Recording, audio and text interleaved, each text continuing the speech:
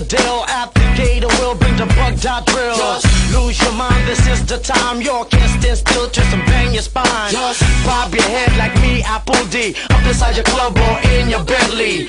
Get messy, loud and sick. Your mind fast, no more on another head trip. So come them now, do not correct it.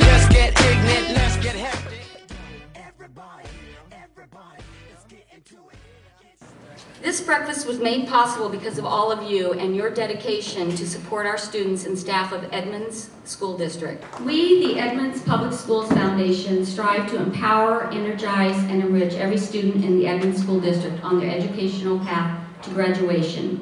The Edmonds Public Schools Foundation is a community-based nonprofit 501c3 organization committed to creating opportunities for all students in our district.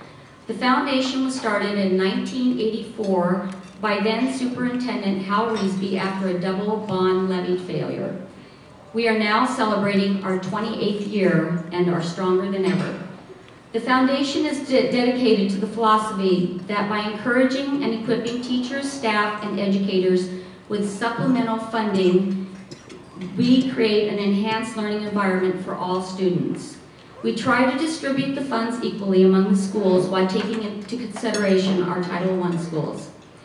The Edmonds Public Schools Foundation supports the Edmonds School District, which includes five cities, Brier, Edmonds, Lynnwood, Mountlake Terrace, and Woodway, serving over 20,000 students in 33 schools. Our diverse student population represents many races and nationalities, speaking more than 100 different languages. Roughly 40% of our students qualify for free and reduced lunch. Historically, we have strived to fill the gaps for projects that are not covered by state and federal monies by awarding IDEA grants for individual classroom projects up to $500 and learning environment grants, also known as LES grants or all school grants, up to $3,000 to enhance and supplement student learning. Unfortunately, because of the Washington state budget cuts to education, the district has been looking more towards the foundation to help basic educational needs and to support educational programs for our students, such as STEM. on what is STEM. Yeah. Um, And I'll talk a little bit about that, about that in my presentation. But STEM really isn't um, so much a place as it is more of a way of teaching um, that looks at bringing in science, technology, engineering, and mathematics into a classroom or learning experience so that students are interacting with all those disciplines. But not only is it about the learning, but it's also about engagement. So in a STEM-focused classroom, students are working on those disciplines, typically project-based, using real-world applications, and they're very engaged. You don't see students sitting on the sidelines not participating. They're very active. But they're also inspired, and that's the third element of STEM, is really inspiring students to look at, this is something that I would want to do, not just in this class, but in additional classes, and eventually after high school and beyond, perhaps in a career. So it really is about teaching in a way that focuses on engagement, inspiration, and preparation in those four disciplines. A new program I want to talk about just a little bit, and it was mentioned earlier, is the launch of our new STEM magnet high school.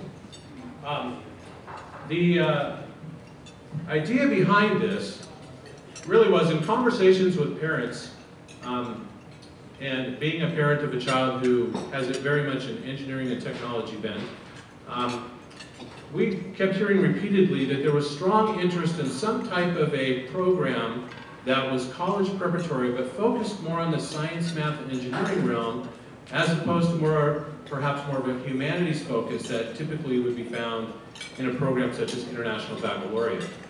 So, um, this past year, we worked closely with Mountlake Terrace High School to design a four-year college preparatory program um, focused specifically in the realm of science, technology, engineering, and mathematics. Um, it is a program of choice, and it is a program that allows students to become very well grounded in all of the disciplines at an honors level and advanced level, um, and also have the opportunity to specialize in one of three areas as an area of focus for their junior and senior year, those being in the areas of aerospace, electrical engineering, robotics, or biotechnology, biomedical.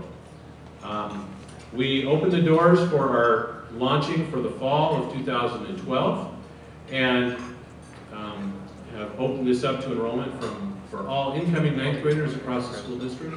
And at this point, we have a starting group of about 70 students that will be starting with us at the school. We're going to be adding each year as we go through. But it is a very exciting venture. We have a number of um, college, university, industry partners that have joined with us in helping us design and launch this program. So at this point, I'd like to invite our middle school students to come up and present their experience in our middle school STEM program. So Logan and Heather, if you could come on up. So I'd like to introduce Holly Dow and Logan Broman from Brier Terrace Middle School. And they're going to share with you their experience in the STEM Foundations course that I mentioned to you earlier. And I'll go ahead and start your PowerPoint and then I'll turn it over to you. Holly. Logan. We're from the Brier Terrace STEM Foundation class. Um, this is our uh, lab where we work on our uh, technical and sci- scientific projects. And this is our lab where we work on a lot of our projects, like we did a, a, a beam, a balsa beam, and CO2 cars, and many other projects like that, and our wind, uh, wind turbines that are on your tables right now. These are some of our CO2 cars that we made. Each student designed and painted um, it themselves. This is our balsa beam we used on the structural stress analyzer, testing the force it could hold. This is a laser, we laser out, um, we did mousetrap cars and uh, robotic arms and those little uh, wind tunnel or uh, things. And this is our wind turbines. Um, I was talking about, uh, this is our wind tunnel where we tested our uh, wind turbines, testing the voltage and amperage output versus the wind speed. And now this is us hooking it up. Um, we used uh, anemometer testing the wind speed inside the wind tunnel that we used, which is right here, and a digital multimeter testing or figuring out what the voltage and amperage output is. And we soldered on our own little LEDs to our motors that we have right there. And we lasered out our own fins. We did that individually. Each student did this by themselves. The you know our teacher didn't you know put this on for us. We did this by ourselves, hooking it up. You know, you know hooking up the digital multimeter, reading it ourselves, getting our, down our own data, and then we made a we put the we made kind of a linear we figured out a linear relationship between the voltage and amperage output versus the wind speed. Um, and we did uh, lots of math doing that we did um, uh, equation called y y equals mx plus b. And um, we did this in math before but I never really we never really understood it before we did this hands-on and under you know applying it to what something we were doing. You know, we just had numbers in math, but this is something that we got to do ourselves to understand it. Okay, so this is us doing our math. Um, that's the rise over run to see what the slope is. That's the formula for slope, a2 minus v1 over x2 minus x1. Um, we're trying to find the voltage at uh, 90, 79 miles an hour and the coordinates that we use to find the points on the graph. That's what we we're trying to calculate, the points on a graph. And the slope we found was 0.137 at 79 miles an hour.